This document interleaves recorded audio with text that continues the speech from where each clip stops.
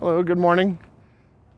My name is Nathan Clark. I'm coming to you from Transwest Truck Trailer RV in Fountain, Colorado. Today I'm going to talk about the 2023 Winnebago Era 70X. This is the rear-wheel drive model. I'd like to start from the outside. Notice we've got the carefree awning up above. It's got the light on the outside. Benefit of a carefree awning is if you go out on, like say you pulled over the side of the road and you want to go hiking, lift the awning out, a gust of wind comes up, it'll automatically sense the wind and pull it back in for you. Nice big spacious amount of room underneath here. Looking at the outside of the coach, you have a few different uh, plugs. You have an auxiliary plug. You also have a cable plug. You have power plugs you want to look under that. You also have an additional solar panel. There's two solar panels on the roof already. Uh, so what this extra solar panel is going to uh, provide you is for additional accessories. These are the stylized Alcoa chrome rims. You got the running boards. Come around the back, you have exterior speakers. So when you turn on the radios, you have, have the inside radio and the outside radio if you wish.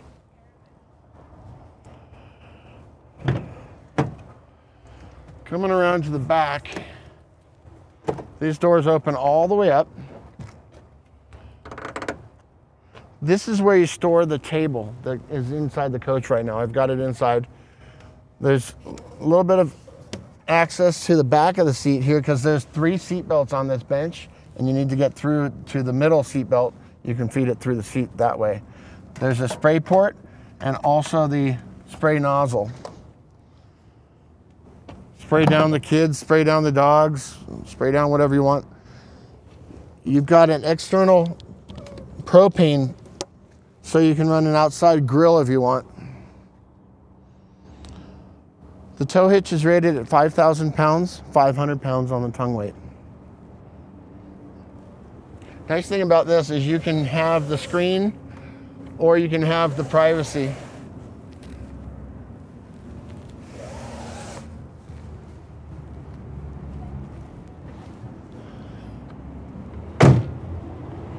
There is a handle to get out to unlock the door if you need to. This bed slides down, so you have access to get out through the back door if you need to.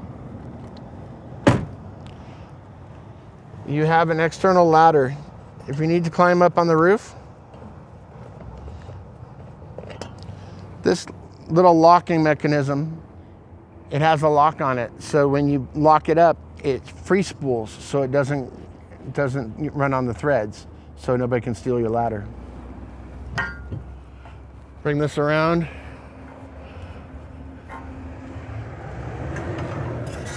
This is designed to be on the side here. You've got your hot water shower, hot cold water shower. So you've got your spigot right here. I showed you back in the back there, the blue hose and the spigot, that's where you connect it. And it's simple connection. This is where you connect your 30 amp power supply. If you're, if you're at a campsite, you plug that into a 30 amp power supply, you can run your air conditioner, you can run all your electronics, everything that you want. I'm gonna climb up on the top here just to show. This support is for 250 pounds. But what you have up here is you have an air conditioning unit, you have a TV antenna, you have two solar panels, and you also have an air, air vent. You have some additional racks up in the front. And if you can maximize the space, that's what this letter's for.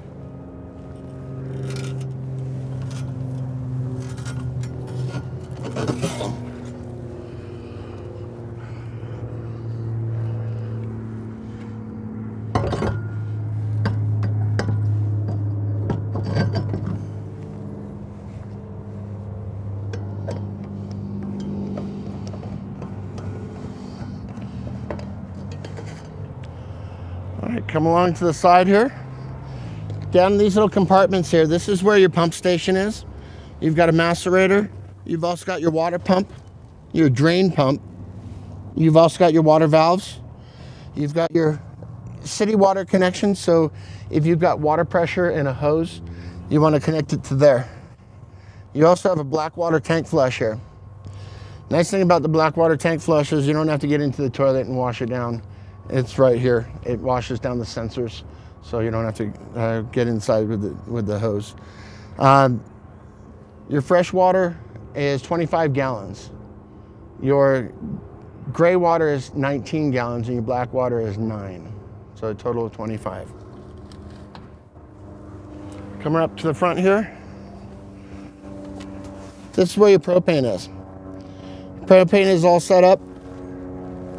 Usually pull into like a lawn and garden place or Ace Hardware or anywhere that sells propane, you can pump it up from here.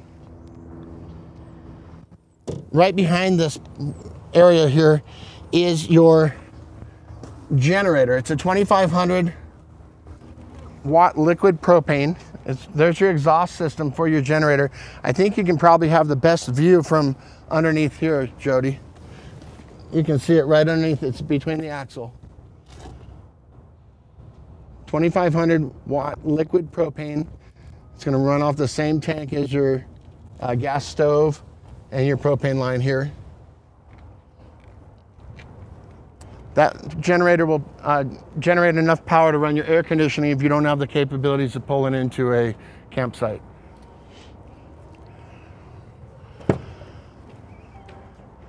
Inside the Mercedes chassis, this is where your diesel is filled up. It's a 24 gallon tank. If you notice the seat configurations here, you've got all your gadgets on the steering wheel, You've got lumbar support. You also have power seats. Now keep in mind, all, these seats do swivel around as well as the, the middle row, and I'll show you that when we go inside. These do have heated seats and also power mirrors.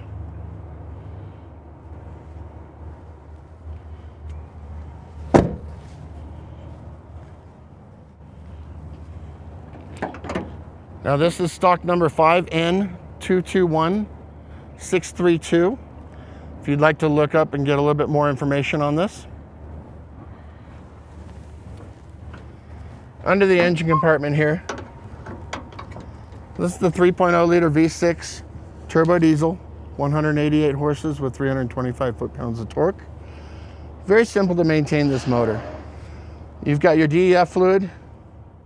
At most truck stops you have it, you can fill it up from the uh, gas like a gas pump as well.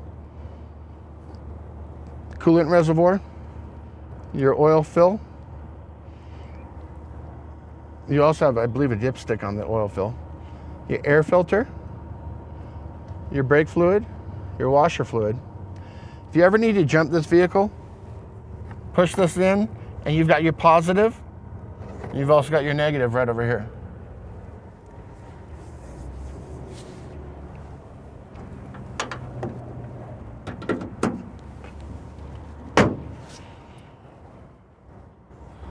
Coming around the front, let's go inside. Got a power sliding door.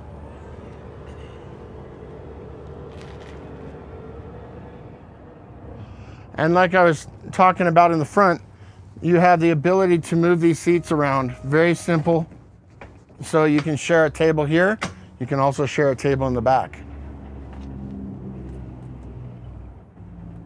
I'm gonna go ahead and hop inside. It is kind of snug in here. But believe it or not, you can seat seven people in here. If you're traveling down the highway, this probably makes the best sense if you've got a big family and you want to drive from, say, two or 300 miles and you need to have a bathroom facility for the kids.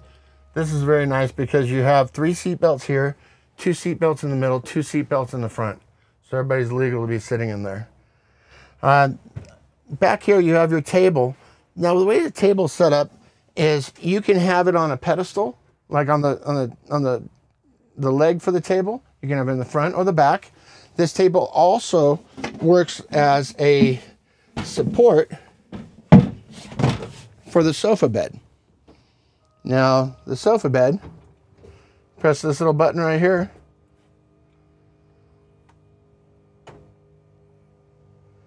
And it's a queen size bed in the back. I'm gonna put these little cushions in here and I'm gonna show you how big this thing is.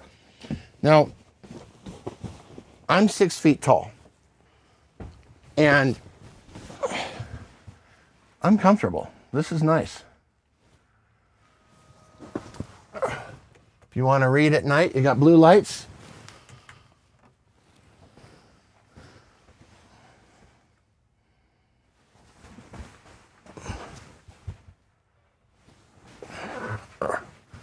That would be a little bit snug, but the fact of the matter is you've got lots of room to move around. These are cup holders. So when it's in the couch position, you have a place to put drinks while you're driving down the highway. I'm gonna hop back here. If you take a look inside here, you've got storage and some goodies that go in your microwave and some water filters that come from Winnebago.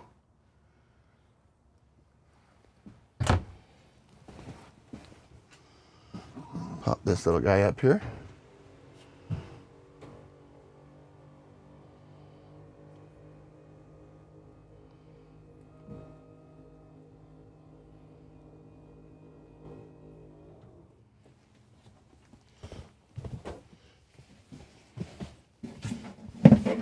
I'm gonna put the table right back here because that's it stores in the back on the outside. You've got a power cord, a power plug in here. You also have USB plugs so kids can plug in games and stuff, keep their phones charged. You do have a TV. It is fixed there, so you can't move it around. With these little levers for opening the windows, there are little handles on them that are designed to open up and you can you can adjust these little triggers here to work for extra strength and flexing to go out. So you've got them on all the windows all the way around. So you have additional abilities to let air move through the camper without running your air conditioner. If you want to run your air conditioner, you can throw that generator on in motion and run the air conditioner and keep everybody cool. These also do have light out curtains for privacy. If you take a look at all the storage compartments, this is where your outside, inside outside radio is. It's Jensen sound system. It's got speakers throughout the coach and it's also got speakers on the outside. It's be the ultimate party mobile. Got a power plug up in here. You also have a cable plug and also a USB.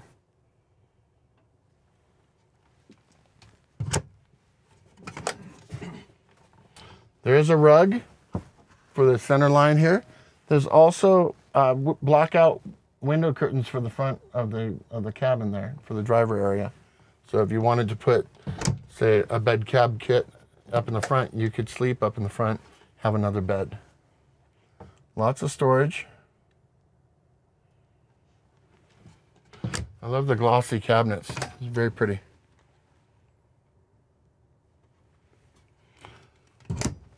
Now I'm going to open up the bathroom. Cool thing about the bathroom is you got folding doors so you can have access to them. You also can have additional room so you can block off one section of the of the uh, the bathroom. You Use the toilet. You got your sink, toilet paper roll. Got a sprayer to wash down the toilet. You also have a shower, so it's a wet shower or wet bath, so you can shower over the toilet and everything.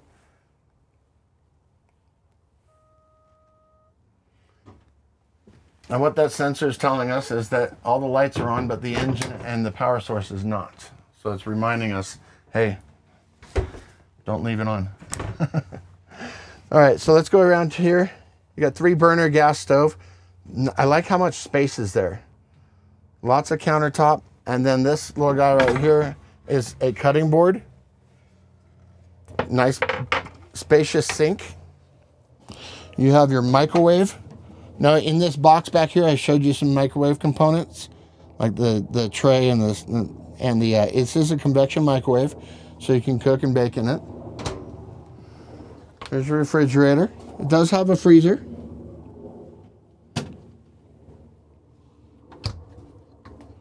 Power plug.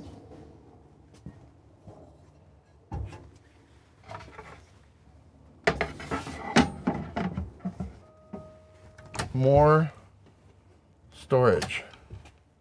This is where your owner's manuals are for Winnebago. Every unit has appliances in them. This has all the owner's manuals for the appliances.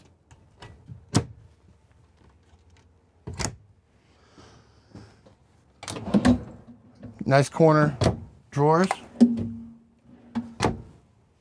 Good use of space.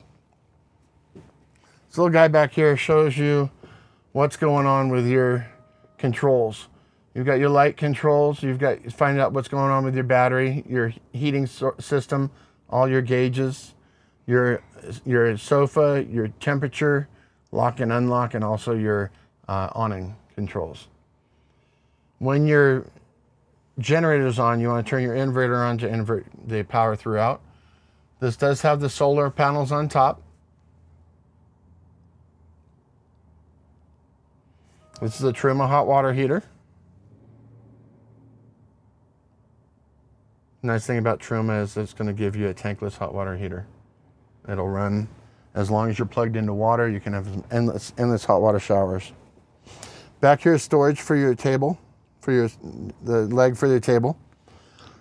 And you can put that up in the front here. And it's really simple. This, like I was, mentioning, I was showing you up on the front there. All four of these chairs move around. So you can share a table here. You can share a table in the back. You've got lots of room to, to play cards, hang out, have cocktails. Cup holders. When you get up into the front cockpit here,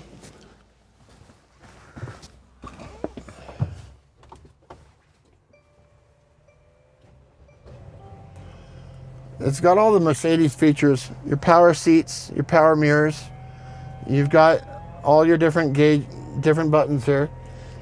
Jody, if you will, can you please press that little red and black button on the door? That's going to be your power power door. That'll close that thing right up. I noticed that the awning came in automatically when I turned on the ignition. That's pretty cool, huh? So that's one of the features that that is with the Carefree awning. If you happen to put it in, in your ignition on, it automatically comes in. Also, if you're in drive in your with your transmission on the Mercedes, you open your door, it's going to automatically put it in park. This is also going to give you the ability to go through the different gauges on the dash. You can go up, you can go scroll down, you can scroll through. Now the, the service will give you opportunity to um, keep a record of when you get your servicing done and also be reminders. This is going to be your distance to um, you're traveling behind in front of somebody, if you want to have a vehicle in front of you for cruise control, this can measure the distance that you want to travel behind somebody else. You also have other options as well. You have cruise control. This is your lane guided cruise control when you're you can determine how many vehicles in front of you that will measure if to slow down the vehicle and then once they get out of the way, you can speed up to regular speed. This guy right here is going to go through your main info, infotainment center here. It's going to show you everything that you need. You do have a touch screen. You also have the ability to control the screen with this little guy right here. And you go back to home. You can go to the apps, the settings, information. You've got your cameras. You've got a few different views. You've got you can adjust how the restricted the view is, how broad the view is. Air conditioning, set it up on auto. It automatically turns it on and adjusts it to the temperature that you want it to be at. Now remember I was asking you to open that and close that door? There's a button on the door panel. There's also a button right here. So if you realize that, gosh, we need to let some people in, that's a good way to do it. Nice power door.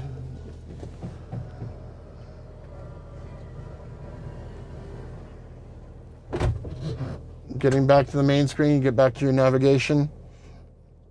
On your one for drive, put your foot on the brake, put it into drive. Push it back for push it up for reverse and press the button on the end for park.